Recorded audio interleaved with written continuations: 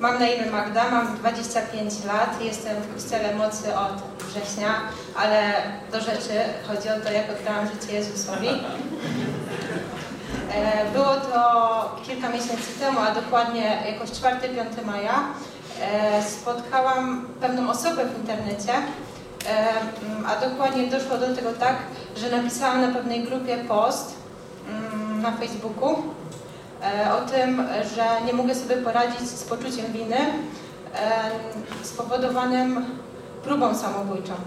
I właśnie ta osoba mi powiedziała, że e, Jezus oddał życie za nasze grzechy i że muszę tylko przyjąć Go jako swojego Pana i Zbawiciela. E, I właśnie ja postanowiłam, że chcę to zrobić. E, Szczerze. Nie wiedziałam dokładnie, że to jest aż tak ważne w naszym życiu, ale stwierdziłam, że chcę. I przez telefon wyznałam, e, że Panie Jezu, przyjmuję Cię swojego Pana i Zbawiciela. E, Zrozumiałam to, co dla mnie zrobił. Stresuję się, wiecie, ale...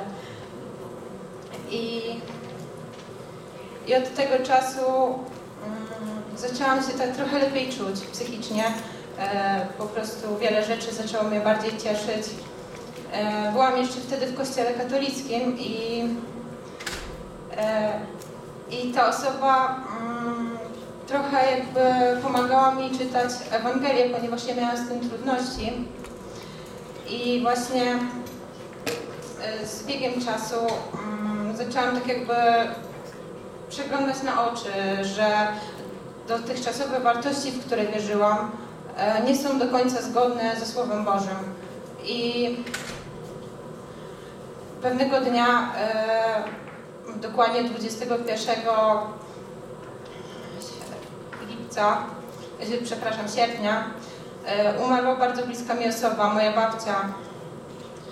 E, Poruszyło mnie to, załamałam się tak szczerze, płakałam, mm, no wpadłam otchłań, taką ciemną otchłań i, i też miałam kontakt z tą osobą E, i właśnie kiedy z nią rozmawiałam o pewnych moich problemach duchowych, e, dzwonił do mnie dziadek i i właśnie gdy się już rozłączyłam, odzwoniłam do dziadka i okazało się, że to się stało. No jakoś przeszłam tą żałobę, pogrzeb w kościele katolickim, który w ogóle był dla mnie traumą.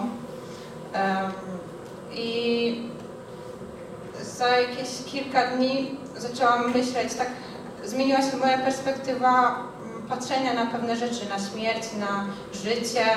E, Dochodziło do mnie pewne rzeczy, które mówiła mi ta osoba, które mm, które czytałam e, w Piśmie Świętym. Stwierdziłam, że chcę sobie znaleźć inny kościół, nowy kościół, w którym będę mogła żyć e, w prawdzie, w którym poznam ludzi, którzy pomogą mi żyć w prawdzie. I tak trafiłam do Kościoła Mocy. Mm, Przyjechałam na konferencję. E, Rozmawiałam też e, z jednym pastorem, to był pastor z Krakowa. No i zostałam tutaj ochrzczona. I od września przychodzę do Was.